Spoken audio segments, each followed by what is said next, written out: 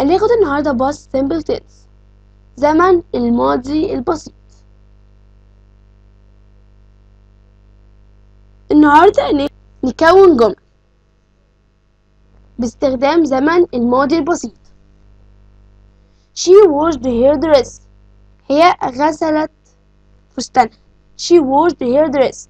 لاحظنا هنا إن she جه بعديها ال verb في الماضي.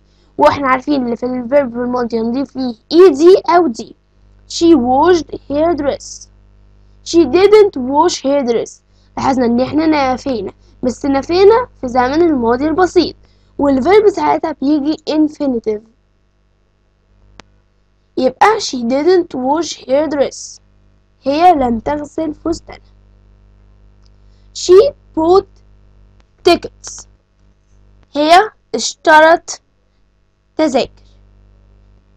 هنا لاحظنا إن عارفين إن buy الماضي بتاعها bought بس لاحظنا إن إحنا مضفناش d أو ed الفعل ده فعل غير منتظم. She bought tickets ومفروض نحفظه على هيئته ما دي أو اي دي فعل غير منتظم. أما ووش ضفناها اي دي معناها إن هي فعل منتظم. بعد كده she didn't buy cotton candy هي لم تشتري حلوى غزل البنات. She didn't buy cotton candy. ولاحظنا ان buy في المصدر ليه؟ لأن إحنا عندنا didn't. بعد كده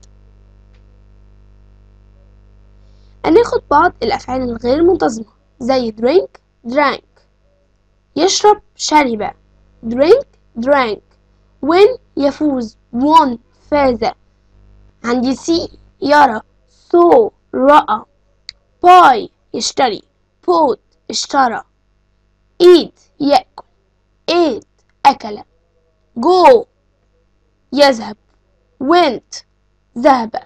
have يملك had ملك take يأخذ took أخذ. يبقى عندي take يأخذ took أخذ.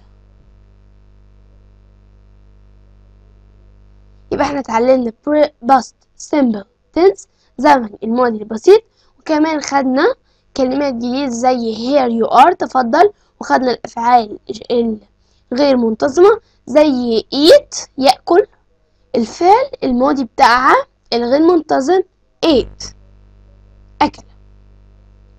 بعد كده نيجي عند time for practice. Unscramble and write. نرتب الكلمات عشان نكون جملة here are you بتبقى ترتيبها ايه here are you very good here you are تفضل here you are عندي number two juice orange please juice orange please هي بترتيبها ايه excellent orange juice please عصير البرتقال لو سمحت number three so really it's am thirsty hot so really it's am thirsty hot very good هيكون ترتيبها it's so hot I'm really thirsty الجو حار جدا أنا حقا عطشان بعد كده نيجي عن time for homework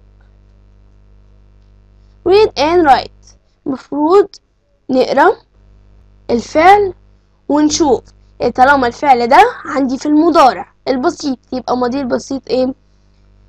وطبعا عندي هنا drink مثال ليها drank يشرب شرب وطبعا المفروض نطبق ده طبعا على وين وسي وباي وبكده نكون خلصنا درسنا ونقابلكم في درس جديد معنا. فن نتعلم ببساطة.